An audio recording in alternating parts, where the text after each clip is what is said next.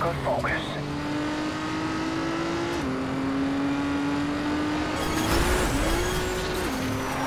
You can do this.